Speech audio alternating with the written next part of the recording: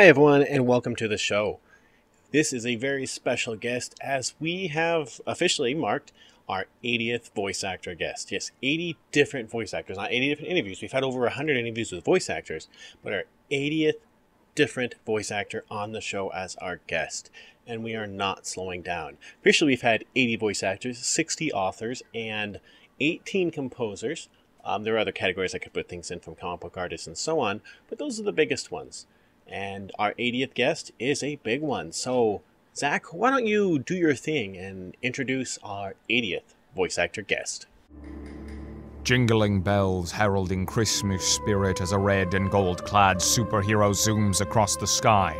Vivid realizations of the planet Cybertron, clashes of Autobot and Decepticon. Brave Turian soldiers resisting the scourge of Reaper domination. These are but a few of the glorious panoramas that preceded the arrival of our latest guest. We are graced today by the incomparable presence of none other than Mr. Daniel Riordan, A man whose talents and contributions to voiceover artistry span decades, mediums, and genres. Might you be a fan of the 90s Christmas classic Jingle All the Way? Our guest is none other than the one who lent his voice to Turbo Man. Were you raised on a steady media diet of battling robots native to Cybertron? If so, you've Mr. Riordan to thank for his impeccable renditions of Megatron, Galvatron, and Omega Prime in Transformers Robots in Disguise. Do you remember the sweeping cinematic shots of Palaven as the mighty Turian fleet struggled to fight the Reaper menace in Mass Effect 3? Do you know who it was that greeted your Commander Shepard as Primarch Adrian Victus?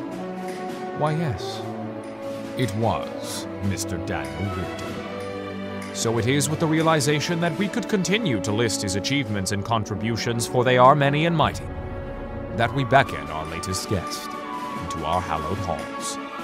We extend you the warmest of greetings. Welcome, Mr. Riordan, to the Thanatarium.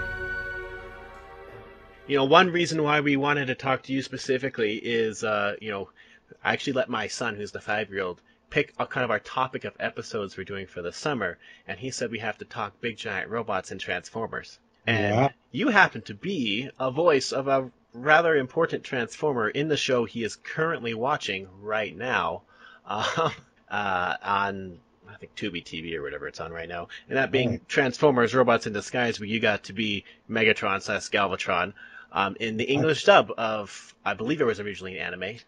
Yeah, it was anime. Uh, we dubbed it from the Japanese uh, over many, many sessions for uh, Saban Oh, Entertainment in the, Burbank.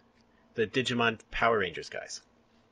Right, they had bought the uh, rights to the to the product uh, for U.S. release, and then we were the ones who did all the uh, uh, the dubbing. So when you said you had to do a lot of sessions, was that more because of voice matching, or because they when they translate it they have to kind of change dialogue quite a bit when it's anime to English because voice because sentence structure is different and they kind of they, you know, Well- they, they adapt it. For, yeah, kind of all the above. For one reason, there were many episodes. So, as you know, it's a it's uh, 30 episodes, 40 episodes, Uh, 50. Forty two seasons, I think they split into two seasons of twenty, so yeah, forty or so. Yeah, it, it's it's a fair amount. So there was that, and then um, yes, uh, because it was Japanese, uh, and, they were dubbing loosely to the script as much as they could, but sometimes what they'd find is that the voice ma- the the lip match wasn't working with the voice, and then it was really interesting because right in the moment, they, the director would rewrite it. So we would rewrite it in the session so that we'd match up. So if the word needed to be changed, but it was the same general idea, but it was a better match for the for the for the mouth movements, then they would do that. So, you know, we did a lot of that, and uh, you know, working with uh, trying to match, you know, because I, I had it on the screen as I was doing it, so I was able to look and see some of some of the you know trying to match some of the even if you could extend a vowel here or hit a consonant harder there, you know, it helped. And wasn't this uh, like done just before the company that did this got sold to Disney? I want to say Disney took over like right after this anime was done. I, I, I believe so because Saban Entertainment. I mean, he's a pretty big player, uh, Saban, uh, and he has also Saban Television right now. and I'm I wouldn't be surprised. I'm not I'm not sure that sounds that sounds familiar to me. Yes, um, I think it would have happened after after we did it for sure. Because I know they got D- Digimon right after I don't know season three or four. They kind of chunk that show up in a weird ways, but I know D- D- Disney got hold of Digimon, and that was a Saban big one too. So it it sounds about right. Um, yeah, and, and it's, it's, about around the time that D- Disney was busy acquiring that kind of product. So. So when you play in this one, you played Megatron slash Galvatron, a mm-hmm. character which has a, a, little bit of baggage, um, with a lot of big people having played that character uh, over the years. You know, lots right. of big actors have played that character. When when you were uh, auditioned for this role or given this role, did you have any either uh, notions in mind what you wanted to do or instructions given to you for how to do it, or did you just have free reign to you know make this character yours this time around, and they said yes or no? Yeah, I, I think it was uh, more I had free reign. I certainly didn't have any of the other actors in my in my head when I did it, and I think the the reference um, was something like, um, you know, scary, you know, commanding, evil, you know, robot overlord sort of voice. It was something. It was something general like that's that was the spec on it. So um, I just came in with what I I kind of thought sounded right.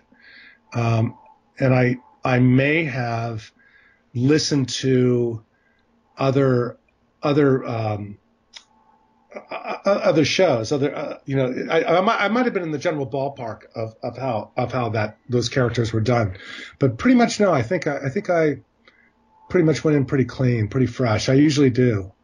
Cause sometimes it doesn't help. Like, you know, I did Alduin. I'm Alduin in Skyrim as well the dragon. Yeah.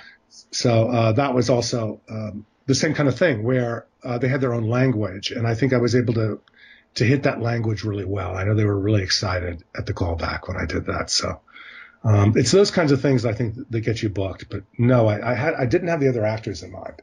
Because I can say, you know, my son is obsessed with Transformers, and so he's watched basically all of them. And your show came out in between the run that David Kaye did with Beast Wars, Beast Machines, and then he did the series that came right after yours with Armada and so on. And my son prefers your voice to that one because he said that one's a bit more um, high pitched, squealy, while oh, yours was he he liked it more. But you know, and then you know he his ultimate favorite I think is the Corey Burton one that happened way later. But he likes every Transformer show ever made, and so it's hmm. like half the time he doesn't realize it's a different person doing it. So which is a good thing, you know. He just knows the, he knows the characters versus you know the voices. I think Frank Welker does it a lot of the time too. Yeah, uh, you know, I went to the TF Nation um, convention in, in, England last summer. They asked me to come over and uh, and sign some artwork and, and and and you know be on a speaking forum and talk about the character and, and whatnot. And a lot of uh, the fans came up and said that they uh, that was their preferred version of Megatron.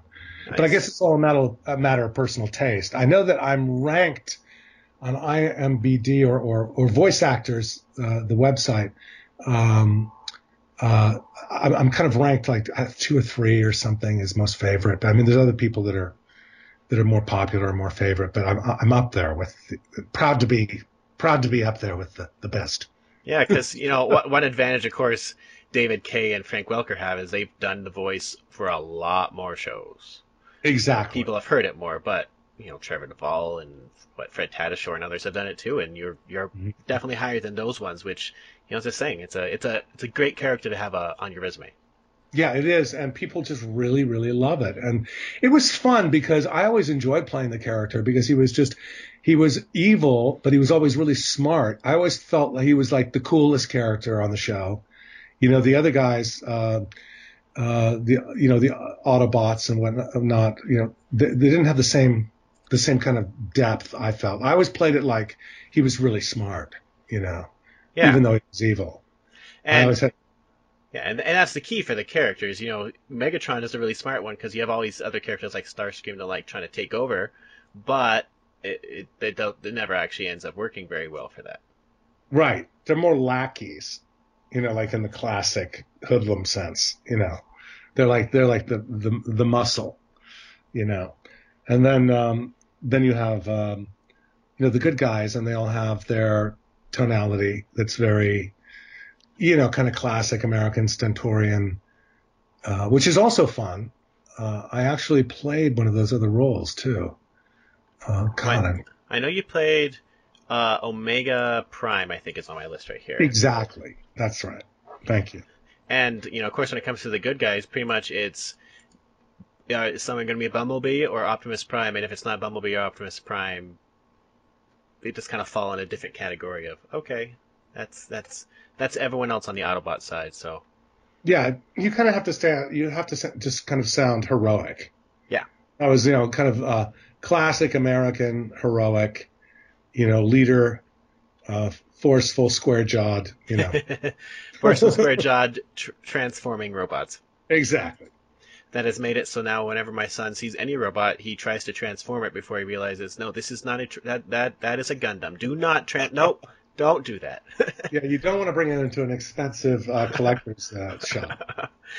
But when it comes to your resume, though, you talked about going to the Transformer Con, which you know sounds Mhm. like it was a lot of fun because Transformers fans, oh boy, they.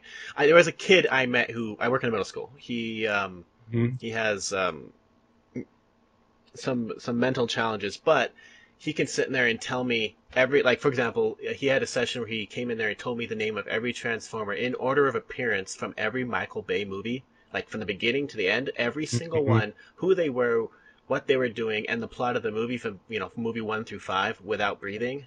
It's like Yes. I, I can't even figure out who half of them are, let alone in I order would of say, uh, appearance. About half of the fans that came up to me in England were exactly that guy.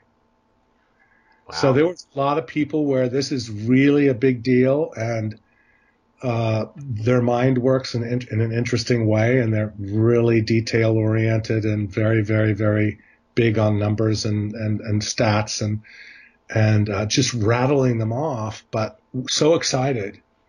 And then I would uh, you know post for pictures with them, or one girl she really wanted uh, to even talk more, but she was so it was so hard for her to like make eye contact and and talk. But her father later came up and said how how thrilled she was. And then I saw her in the hotel uh, uh, restaurant the next morning having breakfast, and I ran upstairs and got a, a, a picture that she hadn't gotten yet. She you know she they bought like one or two things, and and I had some others uh, some other artwork, and I went up and grabbed it and, and gave it to her, and uh, you know it was nice. it was pretty it was it was pretty fun you know to see her reaction her dad was really touched but she was they're just really dedicated fans you know and know all the details know much more than i do that's that's for sure Well, and that's what makes conventions like that fun when you get to make the fans happy. It's much more fun to have the fans happy than have the the people that just want you know to get your signature and then sell it on eBay right after that. yeah, well, exactly exactly and, and I, I always uh, feel that when you're when you're working in conventions that deal with you know any kind of sci-fi or fantasy or superheroes or and I've done a lot of these different characters is that um, you know the sincerity and the wholesomeness and the and the love of that genre is so sincere. It makes you rise to the occasion. I mean I'm really there to serve the fan you know. I'm there to to just uh, to really it's it's my form of saying thank you because you realize how many people are affected by it you know by your performance and they tell you this they tell you that you know and sometimes it was i was taken aback a bit you know how you know certain episodes of, of certain shows or certain characters i played helped them get through a rough patch in their life or help them understand uh, an aspect of life or their personality better i mean it was it was kind of crazy but it was also very flattering And you know, and as we've hinted, Transformers is far from the only show that people would know you from, as far as fandoms. You know, because you've been in three different Star Trek TV shows, um, and Star Trek fans definitely can pick out individual people in episodes that you Exa- people oh might my- not have remembered being in, but yep, they know who you are. exactly. And oh my gosh. Yeah. and you've, you've been in Avatar: The Last Airbender, which is another huge fan favorite, no matter what Nickelodeon tries to do with those shows, or not do, I guess. um, but you've also been in, you know, Dungeons and Dragons properties. You've been in, um, you know, like Age of Empires stuff. Uh, you've been in Skyrim, as you mentioned, Mass Effect, um, Final Fantasy. You've been in Mhm. Diablo. You've been in a lot of franchises that people love. Yeah, and I'm in um, Days Gone now. And Just- you were in uh, Spider-Man recently, as you know, just talking about Yuri Lowenthal a little bit ago. You were in that Spider-Man game. Oh yeah, that's right. You know, I play the uh, detective. Right? Yeah, and uh, you know, lot, there's lots of great stuff. Like I, I, I do have uh, you know some listeners that were sending in some questions, and you know, um, you know, one of them wants to one of them wants to know, you know, you've been in the the industry for a long time. You've right. seen the industry through its shifts, and of course, its more recent ones to try to get more fair treatment, especially in video games with stunts and so on. When you guys went on um, on strike, and I believe today actually there was a big uh, SAG-AFTRA deal announced with Netflix, which you know, a, it's an awesome Correct. thing. Yeah, I read that paper today. Um, yeah, I don't know. I mean, uh, it's great that they make some movement. Uh, I don't know how big of a, of a, you know, how, how big that's going to be, but it's it's nice that they're at least moving in that direction. But you know, the the, the question he wants to know is, you know, um, you've seen the the voice acting transition into the modern thing. Do you foresee them staying as their own entity as just voice actors, or is it going to transition in your mind to something more where they have to combine with actor, you know, with the Actors Guild themselves, or how do you see the transition continuing in the best circumstances? Not mm. since, yeah, in the best circumstances, how do you see this transition continuing as voice actors really try to make their their imprint? Well, it's a couple of things. Number one is most of us are already in SAG-AFTRA. So, and and most of the jobs we do are union. I mean, all the big jobs anyway are, are all definitely union. And I, I, I pretty much only, I've only worked union jobs. Um, so that there's already that connection to the union. We're seen as talent or actors with, there's a division within the union that's, uh, you know, interactive and voice acting, et cetera, et cetera. And we have separate contracts, which I actually sat on the board on in, in 2005 i was on the interactive board trying to get residuals for games at that time and that would be the future ultimately is if what's happened uh, with streaming services and also with uh, different platforms, the the plethora of new media platforms, is that the actors' base for residuals has been eroded. So in the old days, when it was just three networks, we got really good residuals you know, we received uh, really good compensation for the show. And then each time you worked on a network show, your quote went up. So there was a thing called a TVQ, and that moved up through uh, each audition, each job. So you were kind of uh, accruing a better pay rate as you went along. And then, of course, you got really great residuals. Uh, the average actor in 1970, uh, the average commercial, a TV commercial paid fifty thousand dollars in 1970. Like fifty thousand in 1970 was what the average actor was making for a TV commercial. Well, you know, most actors will be lucky to get that now, or or that's you'd have to do a, it'd have to air like crazy. I mean, there's not, there's just because of uh, the internet and because of all the new media platforms, the there's been a, a lessening of the pay rate, and certainly uh, there are no uh, contractual obligations to pay, you know, residuals. So the thing with Netflix is what they're trying to do is they're getting a little foothill, little foothold for residuals. But the other side of that is it said it made it easier for Netflix also to, um, to, uh, what was it, to take longer to, to pay or longer to cast the shows. I forgot. There was some, there was something they had to kind of give up also for Netflix to make it easier for them. And at the end of the day, I think, um, if we are not compensated fairly, uh, you know, for, for the amount of work that we, we do and, and the quality we bring to the shows, it's going to become more like a hobby. You know, it's hard yeah. to make a living. It'll be hard to make a living. Yeah. So people like Yuri or even myself can, can, we've worked a long time. We can make a living, but we're still looking at, um, you know, there's a there's less and less commercial copy for voiceover because more and more of it is is is going away, and people are TiVoing and using streaming services. So, to answer that, I, have uh, gone a kind of a long-winded way, but I guess to answer that question, the future of voice acting, ideally, would be more of a a, a fairly compensated um, endeavor. So there, there would if I know the I know the um, game companies do not want to pay residuals or royalties. But then there has to be maybe bigger upfront fees. Uh, if they're going to be buyouts, they have to be more sizable because I think at the end of the day, there's just not um, there's just not enough money in it to sustain a young career. You know, if someone's coming into it, and a lot of the young people that are coming into it now are also willing to work non-union or for a hundred dollars or you know, uh, and they're, they're, they're trying to get cast off the internet and, and they're willing to do that to start out. And, and in the end, that kind of undercuts everybody. So yeah, it's a complicated question. I don't want to sound too negative because I love what I do and I really respect the creators and, and the people that are uh, writing and producing the work. It tends to come more from the corporate level because a lot of these corporations did not start in entertainment. They started as tech companies or like Comcast. Yeah, exactly. Yeah.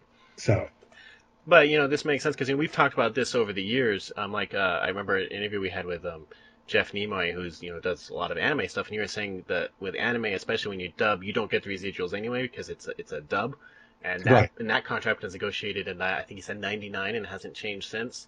And you know the world has changed a lot in 20 years, but for them they have to like with him and like uh, Richard Epcar, which I know helped direct some of the episodes um, mm-hmm. of Transformers that you're on. He you know you have to write, direct, voice act. You have to kind of do everything um, to make ends meet because you have to wear lots of hats because that's how you can make the money to you know exactly survive. Exactly, and uh, and and that's that's something that we were trying to deal with in 2005. It was the I always said it was the thin edge of the wedge. If we had been able to get um, uh, residuals uh, attached to uh, interactive act work, vo- voiceover work at that point, it would have set a precedent for all new media. And we knew that. We were the first on the line to actually have to deal with that issue.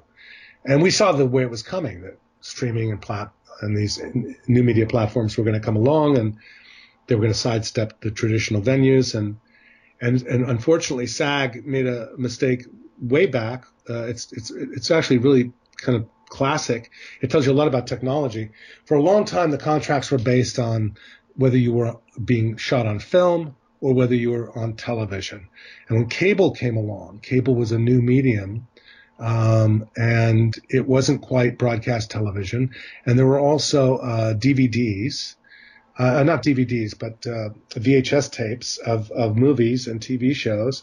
And all of that was new technology, quote unquote. So it wasn't, the contracts weren't based as they should have been on performance, on the fact that you are a narrative storyteller, you are a narrative actor, uh, you know, working in a narrative format.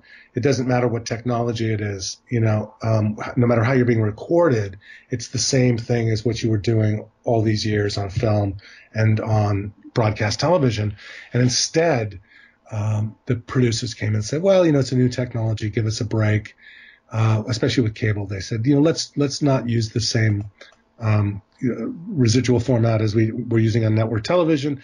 If it, if it, if it's a go, if it looks like it's going to work out, we'll come back and renegotiate. And the union, for some reason, said, "Yeah, okay."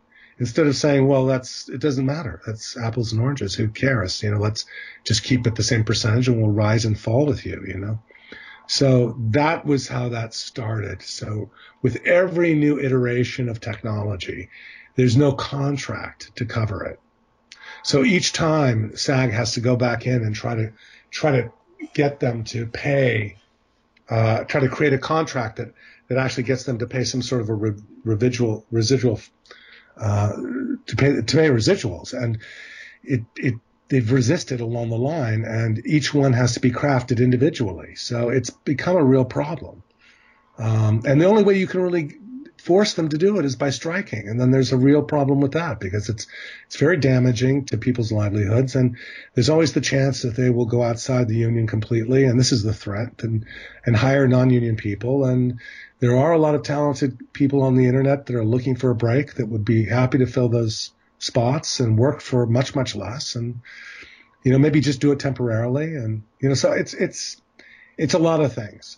I think the ultimately the way that uh, it's going to change, if there's any change, is that the people that are actually building the games, the the, the tech sector, the actual uh, uh, programmers, the artists, the the people that are working for EA, uh, for example, um, they are starting to organize or wanting to organize, and if they organize and the union, our union has been very interested in supporting that.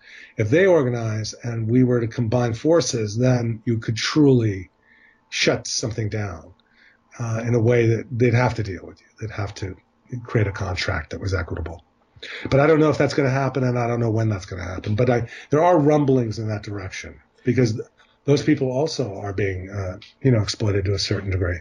Yeah. So, Well, let's hope we, we get some movement in that front without having to go striking because, as we said, you know, that, that does hurt some people's livelihood and it's helped reason, well, it's helped reasonable people yeah, come, exactly. come together and do something.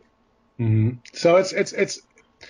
I basically just try to stay very positive and, and do my work and um, you know just try to enjoy life and, and, and not worry about it too much. But uh, but it is it is disheartening if you've been in the business for a long time and you see that you're actually the potential to make money is actually less than when you started. Yeah, I work in schools, and if my pay went down from year to year, I, I wouldn't do it. Exactly. um, Exactly. but you know, you, you worked in Transformers in 2000 for the Robots in Disguise show, but it's not the only time you worked in Transformers. You went back in 2007 for Transformers the game, we got to voice some other characters like Bone Crusher and Shockwave rather than Megatron this time. Uh, what was it like trying to return into the Transformers skin, so to speak, for another go around? Well, it was it, it was fun because I, I love the world of Transformers, and I love their they kind of have a, a a, you know a certain sound and a very direct sort of fun, energized uh, way of speaking and, and acting, and so it's it, I like to do that kind of acting. I like that kind of energy. So it was fun to do a different character. It was fun to do Bone Crusher and get you know darker and you know a little grittier, and um, so I I liked it very much. So when it comes to Transformers voices, I'm, I'm I, I've heard Peter Cullen. Okay, I I know his voice, but how much of that voice is you guys versus what they can do in you know in the mechanical um, filters they can put in in post? How much is actual like your guys' voice? Well, I think most of it is our voice. Um, they do do they can uh, you know alter it in post and color it in post and deepen it or whatever. But for example, if I do this right now, you will be destroyed.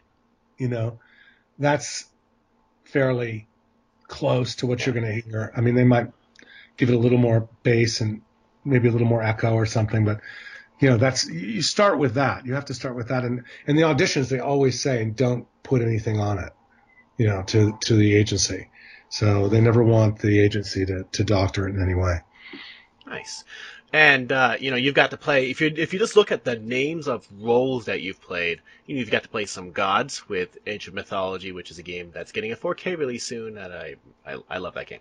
Um, you mean the, the um, the, yeah, the Ancient mythology, we got to do like the, the Greek gods, Atlantis gods, Egyptian gods, Norse. That was a that game is just a blast, and uh, it's my favorite of the age my games. first jobs, I think.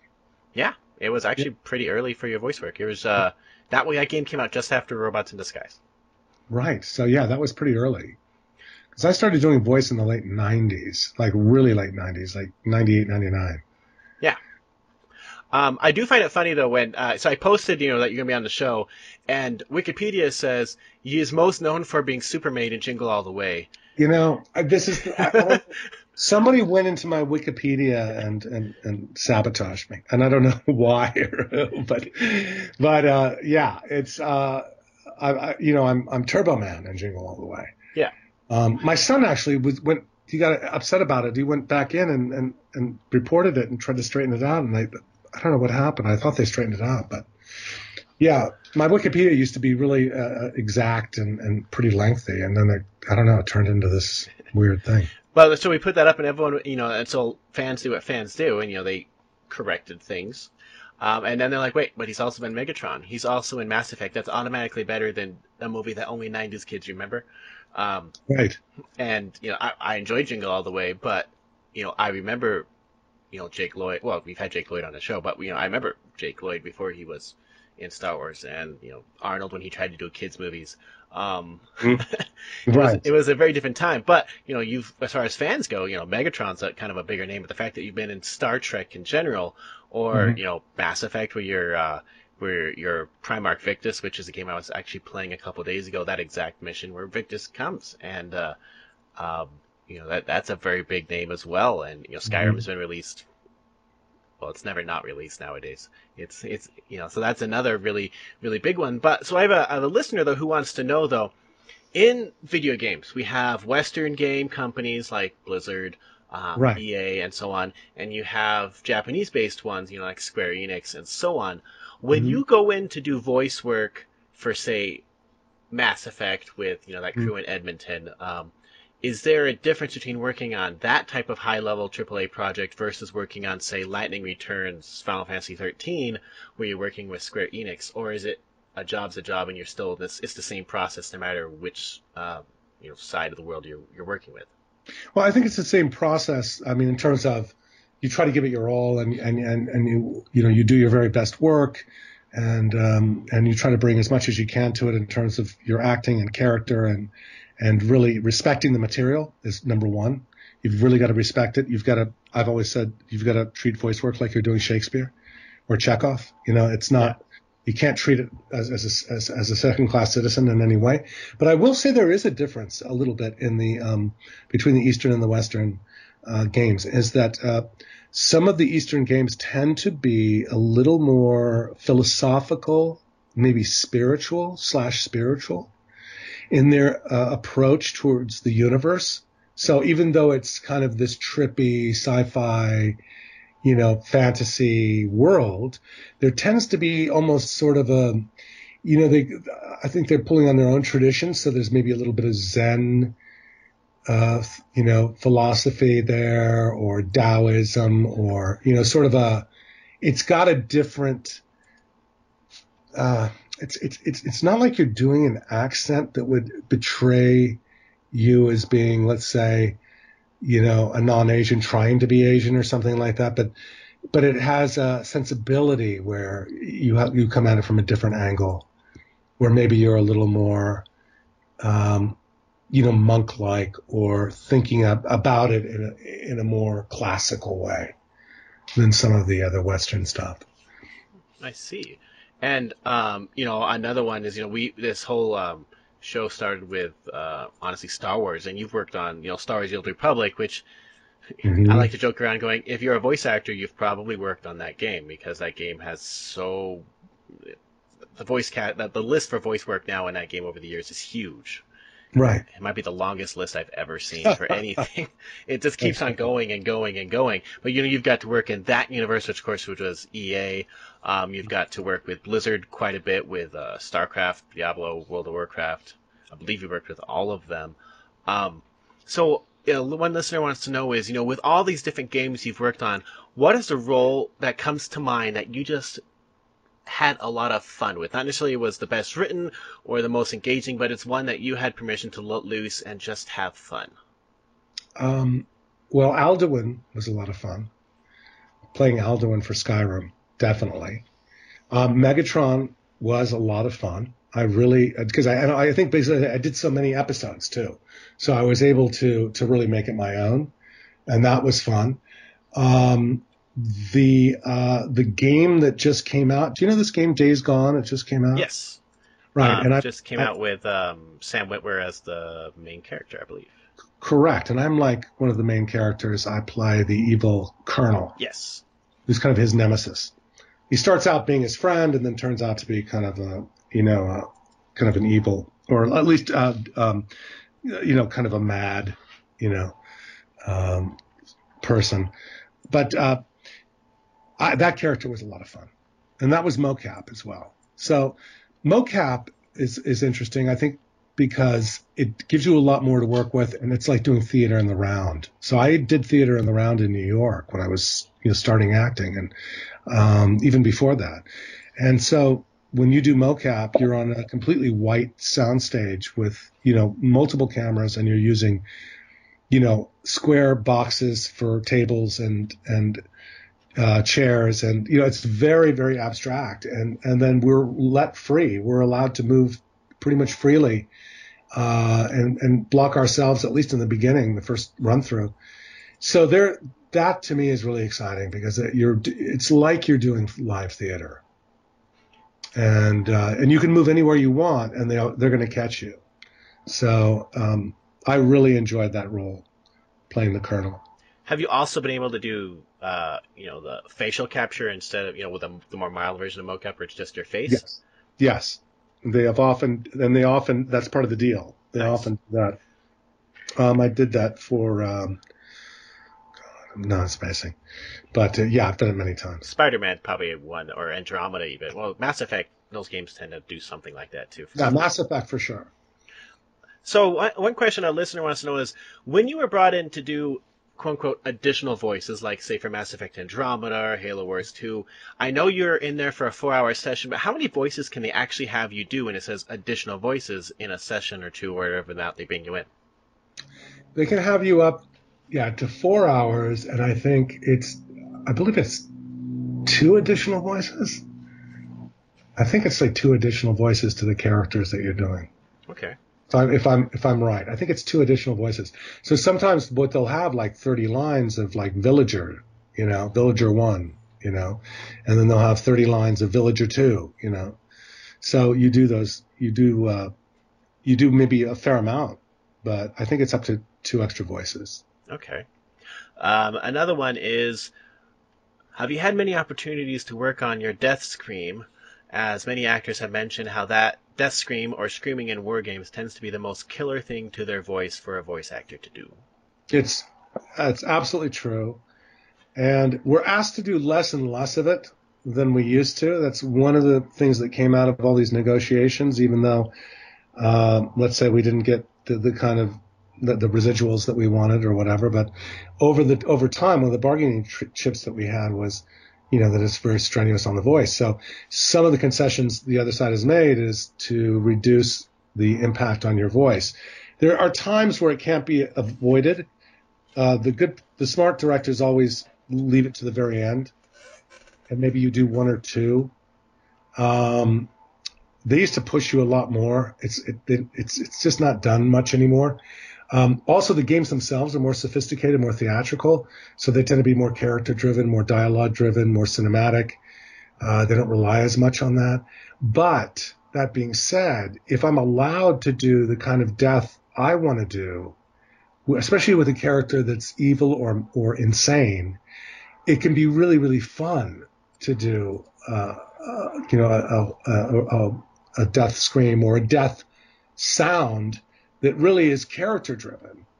You know, so that that shows the whimpering weakness of an evil character. For example, his inner core is that he's a bully and he's weak and he's he's a, you know he's he's abs- you know to show the the kind of defective personality can come out in that moment of fear and angst before as one dies. So that can be kind of fun actually.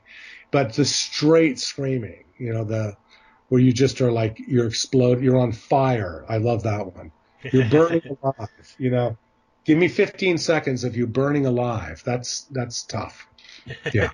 Well, you know, I, I love talking to like actors who have, who do like Dragon Ball Z, and they always mention how their rite of passage in there is their first screaming session when they pass out, and then they get the high five like "Welcome to the show" as soon as you get through your first scream session, because there's a lot of screaming in that show, and Yes. uh, a long, you know, a lot of elongated screaming. But I know one one change that happened from the '90s to now is um, someone was trying to tell us how you know before it used to be like for example if you're doing a show like Digimon or Transformers where you transform all the time it used to be they re-record that brand new every single time a transformation happens but Yes. then Americans came in and said why don't we just use the same one every time because why redo it every single time when it's supposed to sound the same so then they just looped the same you know did it once or twice maybe and then reused it versus every time a new time a new time Oh yeah, and I'll, I'll even take it one step further. I remember uh, doing a Japanese show, uh, dubbing a, da- Japanese show, and they wanted me to, and I was obviously dubbing all the dialogue,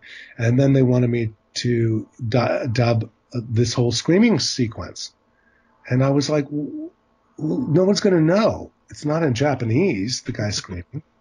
You know, it's, and it's a great scream, and it matches what I've been doing. Why would you know?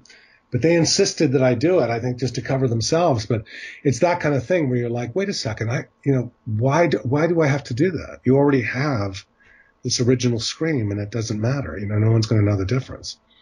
But like I said, there's less and less of that. Also, if you you learn to to use your diaphragm more than your throat, you learn to when another trick is when you're auditioning, you give them only the level that you're willing to do in the session, and they can take it or leave it. So when they when they buy you, when they hire you, They they know that you're only going to do a certain kind of yelling, a certain kind of screaming, and they live with you know they have to accept that. So that's that's another way to protect yourself. Is you you you kind of set limits on it in the audition. So I know when it comes to video games, especially, you tend to record very isolated. Um, the cast is usually not even in the same city all the time or country, even right. for some of them. But have you ever had an opportunity to record a show or a game where you actually get to record together as a group or have multiple people together in the same room, especially for conversations? Um, yes, um, I've I've definitely done that, and uh, it's a lot of fun. Uh, it's always easier for us uh, as the actors. Um, you get so used to doing your lines completely independently, so you don't even hear the other actors' lines.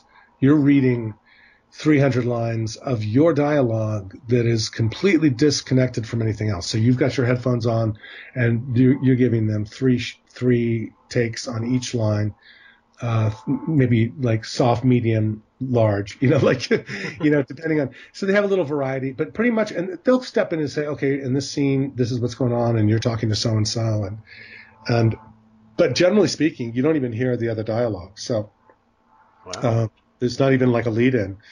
Uh, and then sometimes you're in the uh, in the room together. Um, uh, I did uh, a movie uh, uh, Gary Ross directed with Bill Macy.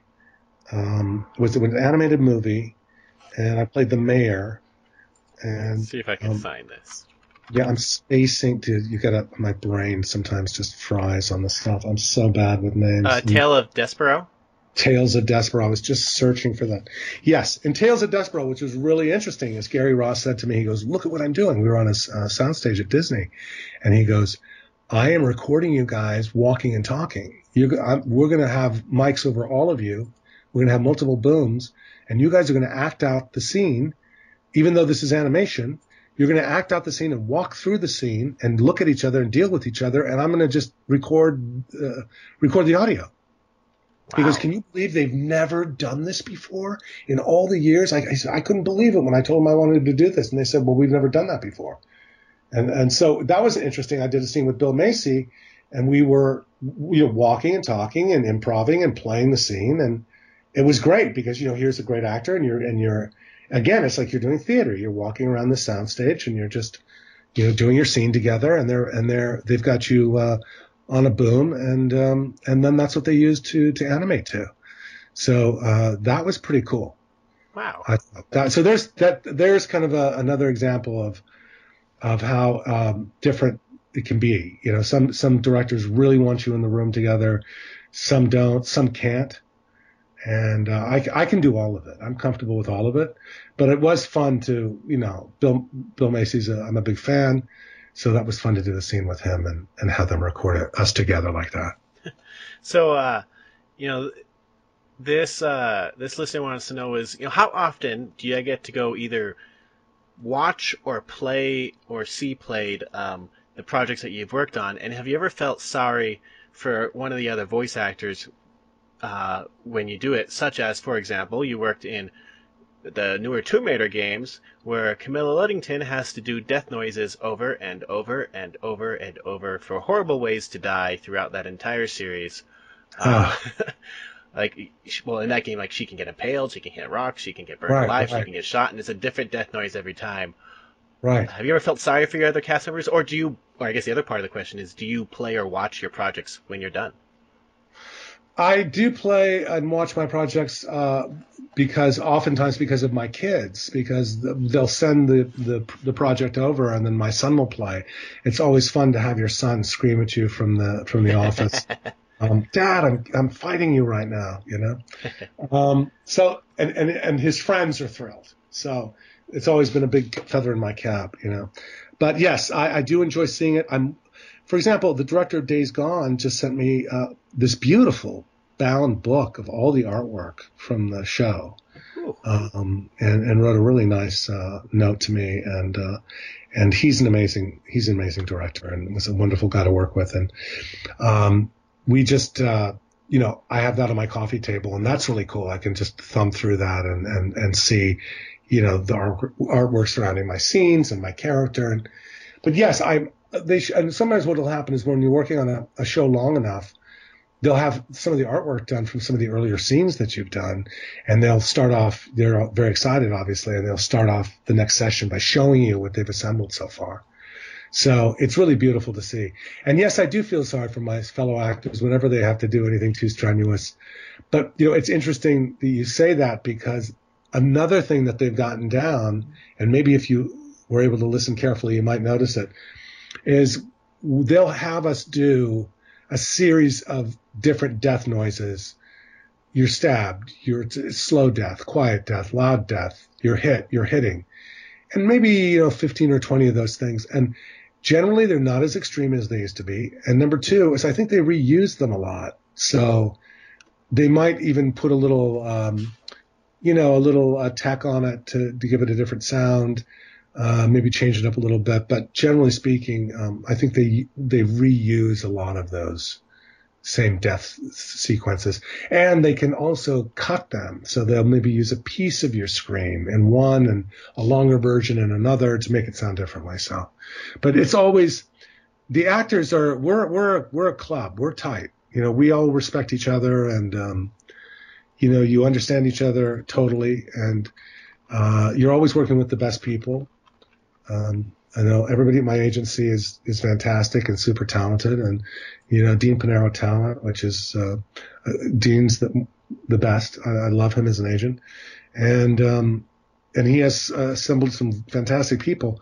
Also, the people that create it, the people that write it, the people that direct it, the, the engineers in the booth, all those people are wonderful.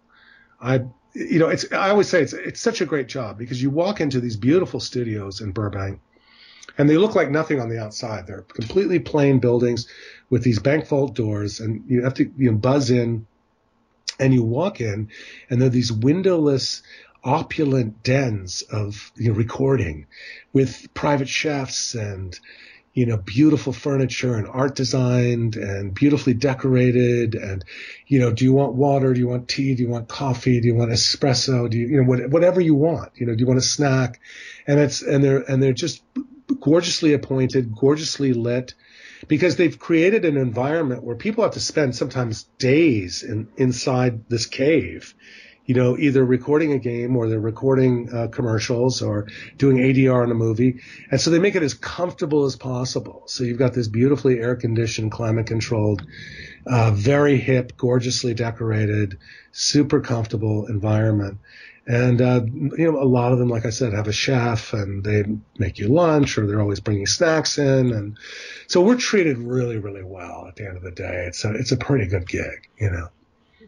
So, uh, another listener question, they want to know, uh, in Star Wars Battlefront Renegade Squadron, you got to voice Admiral Ackbar. I was not aware that someone not named Con- Tom Kane voiced Admiral Ackbar at that time. Can you still do that voice? What was it like doing Admiral Ackbar, a known character from Return of the Jedi? Oh my god, I I enjoy doing it. I don't remember the voice that I used. I'm so bad. Do you have a reference? And I could do it if I heard the reference. Uh, Renegade Squadron. Let's see if I can I'm, find I, that one. I don't. Even, I don't remember what one that is. Um, my kids are so are like you are so lame. You don't you don't well, remember anything. I go. I've done so many of these things. Well, I, you've done so many voices that yeah, I don't know if I'm going to be able to find an Ackbar Renegade Squadron one. I, I see playthroughs, and that's going to take a long time. I, I guarantee you, definitely. I know. I, I, I, I, guarantee you, I definitely enjoyed playing the character though. Um, so because I, I remember that was a well written character. Um, let's see. I'm gonna. I'm, I'm trying to see ones that we have not already covered. Something similar. For, Oh, here's one. In Age of Empires 3, you got to be a very important historical figure in the United States. You got to be Colonel George Washington. That's right. What do you do to prepare to be Colonel George Washington, a character I've only remember seeing played one other time in a game, and that was Assassin's Creed? It seems to be a rather hard character to prepare for because you can offend a lot of people really easily. Exactly, and and and I think uh, you hit it right on the head. Is you can't push it you can't you've got like everything else in acting it's got to come from a real place You're, you know, you want to have real emotion, and then you don't want to push it too much. So, you it's more of a, a of a feeling or a flavor or kind of a zone that you're working from. So, who is this guy? Is he he's he's dignified, but he's not omnipotent. He's still human. He's going through uh, in the game. He's going through the war, so he doesn't really know what's going to happen next. And you you start to develop kind of a, a sense of uh, integrity I think was where I was working from. Uh, and a timbre to the voice that says uh, there's an eloquence to it and a, a certain kind of uh, intrinsic command without being pompous. So you try to find those things. You try to find um, kind of a truth that has a, a very firm underpinning that lends itself to the idea of Washington, but is still a real character. It's still a real person and and then you have to make sure you're not pushing towards some ideal, you know, because that will read phony and forced. Nice. So it is difficult to find it. I think I'm I'm hired a lot because I can kind of do a mid-Atlantic classic sort of speech, you know, and I have a sort of uh, tone and speech that lends itself to that, um, and comes from that mid-Atlantic place and it, it can come off kind of educated or you know um, aristocratic in a way or uh, someone in authority from an earlier time when things were more formal. So that's kind of where I go. I go in, into that place. Um, so let's see. We have one more listener question, and they said, "I've seen how Foley work happens when they make sound effects for games and movies, um, and it looks very complicated. When you do ADR, is it similar to how Foley does their stuff?" It, it's it's interesting that they said that because there's always a Foley uh, uh, uh, uh, pad next to you, which is they always have one in the corner, you know, which is you know with a different hardwood floor, you know, uh, artificial grass, sand, you know, where you, where they can make the different foot noises. So it's always it's funny that you mentioned that because the ADR studios all have those in them. But no, ADR is uh, you you you speak on your um, on your third beep. Um, actually the fourth beep. Um, so it comes in in beeps, and they've lined up the beeps so that the fourth beep lands exactly where you not you need to start speaking to match the picture. You've got the picture on a big screen. You're the in front of you on the on the wall in front of you, usually about 20 25 feet away. It's almost like full movie size screen, and then you're the only one standing in the recording um, studio, and you're standing at a at a mic um, with your headphones, and then there's a crew inside behind the glass in the in the booth, and the director's there, and uh, the engineers are there, and they're guiding you through it in terms of your tonality and how they want you to play it, and whether you're matching, but your timing. So our the difference is, or the similarity is that we're both working on a timing, from a timing uh, uh, place, uh, a timing perspective. So uh, Foley, yes, has to match within the frames of, of, the film and be precise, as do we. But other than that, we're we're really watching lip movement and trying to hit just the right sound at just the right time. It's it's easier when it's yourself. Um, but I've done both. I've ADR'd myself, and uh, I've I've done pickups for myself, and I've in, in movies I've been in, TV shows I've been in, and I've also done it where I'm dubbing out someone else. So. So which is more complicated when you're dubbing something and you have to match, you know, speed and try to translate it as well, or when you're doing ADR over English, where you have to literally match the mouth, or else it will not it will not work. Yeah, I think the dubbing dubbing out is is is, is harder. And even if you're doing English, but you're but you're replacing another actor's voice, which I've done, or if you're doing a voice match where you're um, where you're replicating the actor's voice. You're picking up a couple of lines because they're too busy to do it or whatever, and they've hired you because you're a voice match, and you come in and I've done that. You know, I've done celebrity voice match where I'm actually picking up and ADRing certain lines from their latest movie and ah. saving them the trouble and doing it. So that's more difficult. And also the voice match, when you're doing voice matching, that's the most difficult. I'd say, I'd say that's even more difficult than doing foreign, a foreign language job. especially if someone has a interesting way of talking. you know, like Yeah. I, I imagine like it's not necessarily Steve Buscemi, but you know, someone with an interesting like the way their mouth forms would be a lot harder to voice match or you know ADR over than someone who Um, you know not talks normal, but you know Right. has a more standard way of talking. Exactly. Um, so um, there's there's you know that you're trying to you're trying to match not only their voice but their tonality, their rhythm. Uh, people, different actors play the line differently, break up the line differently, use different. They're, they're not using the punctuation. They've created their own gaps. Uh, I, I so I do Liam Neeson a lot, and um, I'll do. I've, I've come in and dubbed him, and it's it, once for him it's easier for me in the sense because I can get I can latch onto the accent, but it's also matching his timing, his pauses, his breathing. Those things are are difficult. Could we hear some Like, Neeson um, so people could like? Is this like full on like? Is oh, is it Scottish accent Neeson or is he? I mean, Irish. Irish accent Neeson, or is this like his American accent when you dub it? Could, could we hear some Neeson? Oh, okay. Uh, yeah, sure. Um,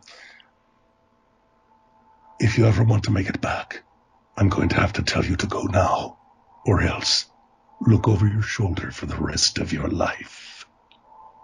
Nice, nice. And so when they when they do commercials for with Neeson movies, you can do, you know, the the extra lines in the commercials that might not be done yet. Correct. Yeah, correct. Or I'll do the yeah, I'll do that. Or maybe they just need to do a pickup of a couple of lines, and they and he's shooting another movie somewhere, and they, he's not going to come back and do like two lines in an ADR session or four lines in an ADR session. So I'll do those. Nice. You know, if they need Qui Gon, they can always just add you and. You know, Exactly. That is a voice match. Well, that's fantastic. Um, so you know, before we wrap everything up, if people want to follow your work and get hold of you know maybe or to see what you're up to and and so on, where do you recommend they go? Well, I, I definitely have a um, uh, I, I I have a Twitter account. So if they want to tweet, I'm I'm always happy to tweet back. I'd love to do that. Um, uh, I usually announce stuff that I'm doing or that's been released. I'm kind of a little remiss. I don't think I uh, announced Days Gone on my Twitter account, but it's uh, at Mr. Daniel Riordan. Mr. Daniel Riordan. Mm-hmm. That's And I awesome. only used the Mr. because Dan, for some reason somebody else had Daniel Riordan, which was upsetting. So I had to put the Mr. in. well, I've seen lots of other people put their name and then put VO at the end or something like that because of Right. of similar things. Like I, I, at least your name is unique enough. There's probably not 400 people with that name, but Exactly. And you know, I'm, I'd be happy to communicate with anybody that reaches out. Um, I'm a little shy on Twitter. I tend to I, I follow my friends on it, I, and I watch people and I, I see what they're doing, and uh, you know what movies they're directing or producing, or what shows they're on, or games they're coming out with, or whatnot. But uh, I tend to be uh, you know a little reticent. Um, but uh, I would definitely engage anybody that reached out to me. So. I think it was from your Twitter that I followed something that DC Douglas was doing one time. Oh yeah, that was last last year. He did. Yeah. Uh, uh, we were together at the uh, TF Nation Ah, yes. in, in Birmingham, England, and he was doing his very funny uh, comedy night sketch that he does, and uh, and it was very funny. So uh, I, I did a shout out for him because I, And- went and saw it. I was very impressed.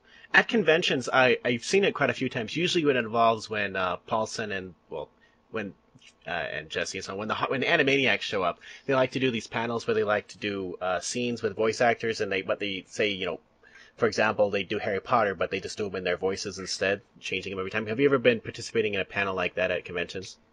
No, I haven't. Uh, the the convention the, last year we they simply interviewed me, uh, but that's what DC was doing. He was doing. Um, uh, he had a voice. He was doing something in character, and and it was very it was very risque. It was very funny. I can believe DC Oh. Douglas doing risque things. Yeah, he pushes the envelope a little bit, but he's Him and John St. John, I, I, nothing surprises me when they do things. oh my god, yeah, and then exactly, and he's uh, he's hysterical. So you know, everybody loved it, and it, it, was a real addition to the to the convention. And then his booth was right next to mine, and and we're also at the same agency, and we've known each other forever. In fact, DC Douglas years ago, he used to on the side, he used to cut people's uh, reels, you know, their audition reels. You know, they're, they're before before people had websites and, and, and that kind of thing. You'd actually have a VHS tape that you would uh, give to agents, give to producers that had all your work on it um, all your on-camera work, and he uh, edited my. He, he put that one together one one year. Wow. Years. Ago. Yeah, he, he was uh, he was in charge of that, and he did a great job. Yeah, very talented. And he's another one. If people want to follow someone on Twitter, he's a great one to follow because he actually he might not be on Twitter right now. He might have gotten in trouble, but follow him on social media when you can find him. He's a great one to follow because he's just he, he doesn't hold back. No, no, and I, I said to him before I go, you know, you've got to watch the politics because it's, you know, I've gotten a, I, I had, I got a job recently and, um, uh, to, to do the voice for a bank and they were going to hire me. They're going to hire me. And the last thing they did is they called my agents and they said, uh, uh, ask him if we can go on look at his social media because everything's good, but we need to check his social media before we say yes. And I was like, go for it because, you know, I'm lame. I don't really do much social media. And, um, and even if I did, I would, I would be very circumspect about, uh, you know, my, my personal life, my politics, etc. for this very reason. So they went and they looked at it and I was clean and they hired me. But someone like DC, I don't know, you know, depending on what he's saying that week, you may not get the gig. You know, it's, it's, it's, it's, you got to watch, you know, I hate to say you got to watch what you, what you say, but, I, it's each to his own. I mean, I certainly uh, have firm beliefs, but yeah, you know, I, I think about my business and especially when you're doing advertising, I mean, you have to appeal to a lot of different kinds of people and represent a company and, you know, that can be difficult if you're, if, if you're known for being too, too much of one thing. Fantastic. Thank you so much. No, Jeremiah, thank you. I, it was a, a very flattering. It was a real pleasure. I'm sorry about my uh, delay the last, you know, the first two times. I apologize for that. That that's perfectly okay. I under, I understand, and you know, fire one of the days. Um, right. And yeah, it's the, it's that season. We just need a lot of rain. A lot of rain. Yes, a lot of rain. Well, it's been great talking to you. Likewise, this is awesome. I'm familiar with so much of your work that it, the hardest part for me when I talk to people like you or Yuri or people who've worked on tons of stuff that I have listened to and watched to figure out what to talk about, like which thing to talk about, because I can talk about all of it. I know, and I you know I, I love it because some like uh, maybe it's better with these guys. They might know more, but sometimes after a while, you know, you've been doing it so long, you've been doing like so many games, so many projects that you start to forget, you know, what you've done and you know yeah, it's definitely. I've definitely talked to people that have forgotten they worked on entire like series of games. I'm glad I'm not the only one because I'm sitting here going, "Oh my god, I sound like I'm you know has have Alzheimer's or something." I think one of them. I think I want to say Corey Burton was one of them because we were talking about like some of his really old Disney stuff he's worked on, and then mm-hmm. I mentioned some really old games, and like I, I, worked on that. I didn't live there, did I? That's so funny. Unless anyone who's done this for a long time, I imagine Steve Blum has forgotten more of what he's worked on than he's worked than he remembers because he's done yeah. done so much. Yeah. So probably. But it's it, that's what makes it so fun because you guys can literally fit in almost any fandom anywhere, and uh, you know, you imagine, I imagine you can sit at a convention and people will come up to you with a random image to talk to you or sign and be like, did I do that? Yep. Oh. Yeah, it, yeah, and yeah. it's all. It was really fun in in, in uh, TF Nation to to have them come up with the Star Trek stuff, and they had beautiful photographs, beautiful glossy pictures, you know, uh, that they'd gotten from the shows, and and I loved playing, um, you know, the Klingon, my my my favorite, you know, Klingon. So um, that was really a blast. I gotta say that was fun that they got they they dug that. And you know, you've even been in Scooby Doo, even though I have to admit it's a right. it's a Scooby Doo movie that I forgot happened because like my son owns I don't know we just bought like eight more Scooby Doo movies the other day, but I forgot there's that CG one in the middle between kind of. That's right, and that was uh, that was directed by Brian Levant, who was my creator producer on Captain Zoom, The Adventures of Captain Zoom in Outer Space, which I did in '95 for Stars Universal. Wow and that's an that's a live action You should look, take a look at that sometime. Your, your- by the way, your kids will love that show. My kids loved it. I had it on DVD and they just couldn't watch enough of it. Captain it Zoom, you because it was said? It's called The Adventures of Captain Zoom in Outer Space, and it came out in '95 as a, a, a movie of the week. It was going to be a series, and then uh, there was a political battle between Universal and Stars, and it got canned before it started. But it was already got really high ratings, and they'd already written 26 episodes, and it was going to be the third part of the action pack with Hercules and Xena Ooh, at the time of the biggest shows in the world. yeah. Is before your time, but in '95. I, I remember Xena. I definitely remember Xena. Yeah, oh, of course. And you got to work with Ron Perlman Yeah. apparently in this one. Uh, Nichelle Nichols. Well, that's a Star Trek name for you. That's Um, right. Wow. Oh yeah. hmm And that's a. I, I play Captain Zoom. I was the lead, and it's very funny. It's very cute, and you're going to see that another show completely ripped us off, and the show was in the next bungalow over at Universal, and uh, so another movie came out, kind of based pretty much on what we'd done with that show. When it didn't go, they went and made the movie. So um, I should watch it and find out if I can figure it out off the top of my head, and if not, IMDb trivia might know. there you go. but But uh, so your kids will love that show. I think he will. He is definitely into this sort of thing right now. Yeah, it's very cute. Well, thank you. Thank you so much. Yeah, uh, we're definitely going to check this one out. Let's see if I can find it on streaming. Oh, well, I'll let you go, and then I'll search for it on streaming. But thank you so much for your time and all this, and I will definitely send this to you as soon as this is live. And, uh, you know, Days Gone, Mass Effect, all of them. Great work that you've done over the years, and I know you're going to do a lot of great stuff coming soon, even if I don't understand what the heck this thing about Bakersfield, Bakersfield Noir is. My family lives in Baker. Like I have tons and tons and tons of cousins in Bakersfield, and it's hot and sweaty and kind of dirty. But It is. Bakersfield Noir looks like it's well, it's interesting. Yeah, yeah, That's your current project, right? Or at least uh, the next one. yeah. There's, I'm doing something. Yeah, there's, there's, and I just, I just did Nancy Drew Mysteries too, Ooh. which is fun. Um, but yeah, I've got, yeah, I've got a, a couple of different things going on. Usually we can't talk about them. Yeah, so- you have the NDAs that you Yes. should definitely follow.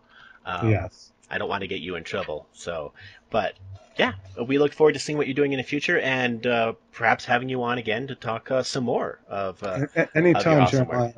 Yeah, you were great, and I enjoyed speaking with you. And anytime.